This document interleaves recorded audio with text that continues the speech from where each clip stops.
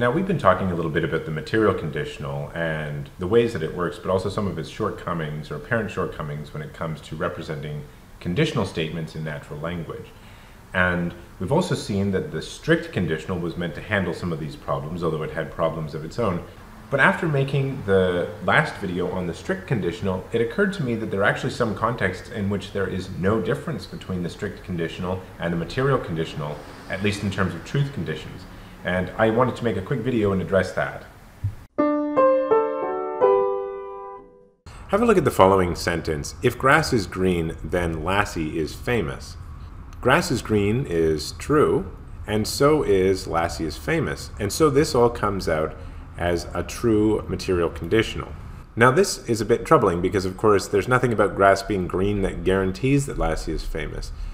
And so one way of fixing this problem is to import a conditional of the following form, which is sometimes called the strict conditional, which says necessarily if grass is green, then Lassie is famous. So we say in every world in which grass is green, we'll box this so that it looks like our modal operator, Lassie is famous. And this is obviously false because there are conceivable worlds in which grass is green and Lassie isn't famous or Lassie doesn't even exist. So this is our strict conditional, and it's meant to deal with some of these problems of the material conditional. But it has problems of its own. For instance, consider the following, which will be true because the consequent is true in every world. If grass is green, then 2 plus 2 equals 4. Well, this consequent is true in every possible world. There's no possible world in which 2 plus 2 equals 9. And so this comes out as a true strict conditional.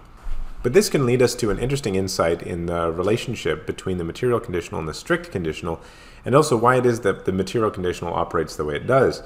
The point just is that where the subject matter is necessary, that is to say, where the subject matter is true in all possible worlds, or true in every world, the material conditional and the strict conditional have the same truth conditions. And accordingly, our addition of this modal operator in every world is superfluous where we're just dealing with a necessary subject matter to begin with. Why does this matter? Well, because math has as its subject matter something necessary, which is to say true in all possible worlds. And the material conditional was created for mathematical arguments.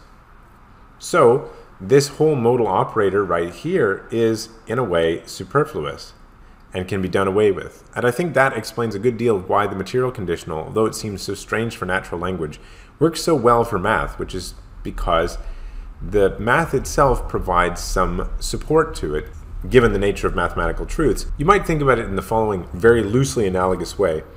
A squid is able to have the structure it has because it's given a lot of support by its medium, which is to say the water. But the minute you take it out and try to stand it up on dry land, it of course can't stand.